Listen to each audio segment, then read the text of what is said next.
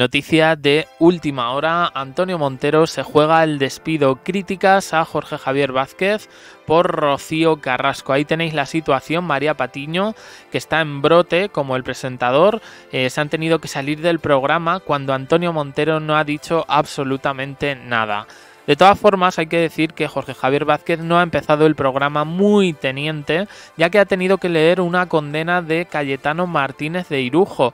Tenéis toda la información en el canal secundario para saber eh, por qué Jorge Javier ha tenido que leer esta sentencia a todo el público. JDC lo tenéis en la descripción y en la página de inicio del canal. El caso es que Jorge Javier Vázquez sigue fuerte, sigue en plan destroyer y eh, bueno, pues ya hoy ha tenido para todo el mundo, para Amador Moedano, para Ortega Cano, que encima les ha concedido una entrevista de cuatro minutos a Quique Calleja, y también para Rosa Benito, la gran afectada del día, tras esa querella penal que preparan Rocío Carrasco junto a la productora La Fábrica de la Tele y según están dando eh, algunas informaciones la propia cadena Telecinco. La cosa se ha puesto mala para Rosa Benito, pero eso no justifica los ataques de Jorge Javier Vázquez, en el que, mm, bueno, pues sí es verdad, si yo lo he dicho muchas veces, Rosa Benito se ha contradicho muchas veces a lo largo del tiempo, pero eso no es óbice para, eh, como digo, esos ataques, estás defenestrada, no eres nadie, en fin.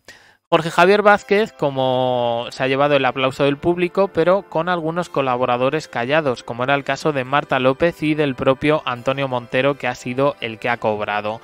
Antonio Montero le han preguntado, ¿y no crees esto, Antonio Montero? Es que claro, es que ahora, ¿qué vas a decir? ¿Qué vas a decir? Y el otro, no, yo no digo nada, yo solo digo que si nos sacaran la hemeroteca todos, pues todos tendríamos mucho que callar. Zasca. Qué bien ha hablado Antonio Montero, pero claro, eh, esto supone responderle al presentador y eso pues como que no le hace mucha gracia. No, no, no, pero ¿por qué te empeñas? ¿Pero por qué? Pero si no ha dicho nada, pero si no he dicho nada. No, eh, Jorge Javier Vázquez está, como digo, en un modo dictador, en un modo prácticamente no deja hablar a Adela González, que se tiene que conformar en dar paso a vídeo. Y la verdad es que yo tampoco lo entiendo. No sé si quieren recuperar la audiencia perdida así, pero lo que crea es una incomodidad y un mal gusto en el, espectador. Yo no puedo defender lo de Rosa Benito, sinceramente. Eh, eh, yo creo que es una acusación eh, bastante grave la que ha hecho.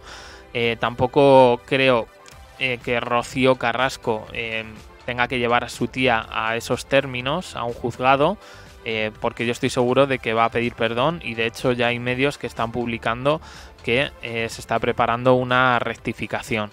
Pero claro, aquí ha brotado todo el mundo, María Patiño, es que tú siempre estás tocando las narices, es que... Pero ¿qué está tocando las narices? ¿Por tener una opinión contraria? ¿Porque él a lo mejor tiene buena relación con Rosa Benito? Es que ya hay cositas que no compramos eh, por mucho que, no, que nos digan. Y la verdad es que si quieren, si quieren arremeter contra Rosa Benito, tenían el vídeo, el vídeo la dejaba fatal, era un vídeo de meroteca y yo creo que no había necesidad de ensañarse ni de eh, posicionar al resto de colaboradores a favor de el presentador y de su discurso. Cada uno tiene su opinión. Yo creo que estoy muy lejos de las opiniones en general que pueda tener Antonio Montero, pero bueno, en este tema sí es verdad que estoy un poquito más de acuerdo y sobre todo que haya libertad de expresión para que cada colaborador diga lo que sea. Antonio Monteros se ha vuelto a callar toda la tarde porque sabe que si habla cobra, no puede decir absolutamente nada y luego se quejarán de la audiencia, pero el papel de provocador que hace el periodista a mí me parece que es uno, es uno de los talismanes en los que se deberían eh, agradecer que estuviera ahí para Sálvame, porque precisamente el hecho de que unos opinen una cosa y otros opinen otra es lo que da un poco de vida a un programa de televisión, no el pensamiento único. Un saludo desde aquí, Antonio Montero, y nada más. No sé si estáis de acuerdo conmigo o no, pero yo creo que mm, es que no, es que no me gusta cómo se, no me gusta cómo se trata a la gente y, que una persona ya ciertamente mayor, vamos a decir como Antonio Montero, con su experiencia, tenga que callarse ante tales ataques eh, del presentador Jorge Javier Vázquez. Como digo, vuestras opiniones en comentarios, suscribiros, campanita, un me gusta en apoyo al canal y arriba a la derecha tenéis el canal secundario JDC con otras historias interesantes como la condena que ha tenido que leer Jorge Javier Vázquez al programa Sálvame y a Kiko Hernández. Os dejo con más vídeos, gracias por estar ahí.